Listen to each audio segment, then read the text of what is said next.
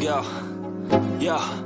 I'm like an addict, do I gotta have it? I ain't even playing, got a really bad habit. If it moves, gotta grab it, fuse like a magnet. Lose, won't have it till I'm doomed in a casket. I ain't playing, got a weird mind. If you work 8 hours, I'ma work 9 If the shit tastes sour, you should taste mine. I'ma stay in power for a long time. Get up, nah I ain't a quitter. Toss me the ball, I'm a really big hitter Hello, welcome to the Magician's Manor. My name is Jamal, aka the Dark Magician. Please have a seat. Today I will be talking about Ethan Klein and his apologies for a segment that he had on a podcast recently. Now, Ethan started off talking about James Charles and how James Charles had the pins in his Amazon cart. Now, from there, Ethan connected that to James being a power bottom, which feeds into a stereotype of effeminate men being, you know, bottoms. This is, a, in my opinion, um, a bad take and a bad road to go down just because it is a stereotype and no one likes to be stereotyped in all marginalized groups over the years we've worked to you know break away from stereotypes whether it be sexual sexual orientation race religion anything with the stereotype you know it's best not to go down those roads. Now fast forward within the same segment you know he invited you know callers to call in if he's not understanding the terminology that he's using.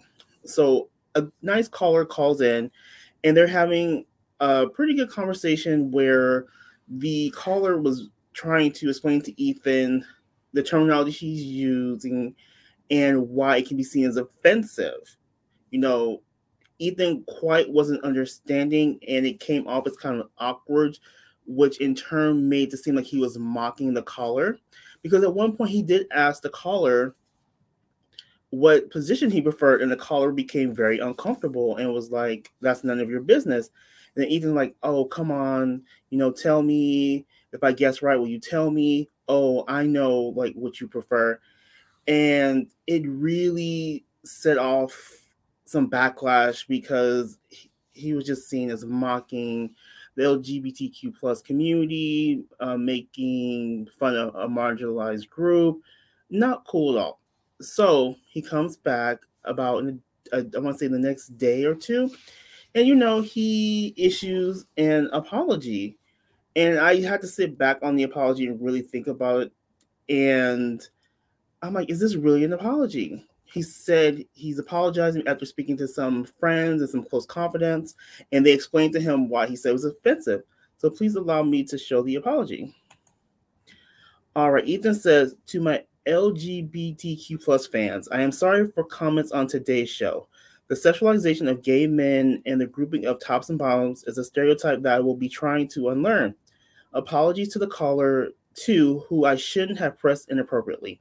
Hope you guys know I always mean well. So, at face value, this apology is okay. You know, he's acknowledged that, you know, he was wrong and he hopes to educate himself moving forward.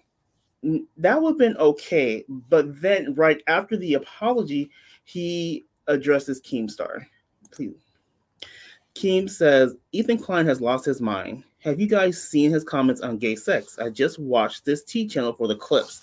I, Keemstar, you know, the bad guy, would never say any of this horrible shit. I legitimately was offended, and I'm not even gay. For anybody asking for the clips, I don't even know if I should tweet it. It's bad. He was just questioning this guy if he was a top or bottom, and the guy was saying he was uncomfortable, and Ethan was like pushing it and saying shit like, I know why you are. Ethan was basically making fun of him because he's gay. I swear to God, it's so bad.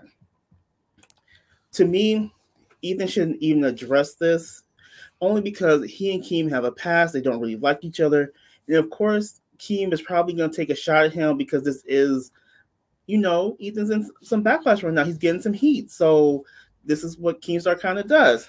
So my opinion is when you apologize, focus on yourself, how you can forward, how you can educate yourself, how you can be better. This kind of just doesn't seem to work as an apology. An apology should just be about you, no one else, point blank, period.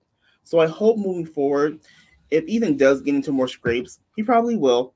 I hope he just sticks to himself and what he can do better and how he can be better. That's it for today. Come back to the Manor soon. I look forward to having you.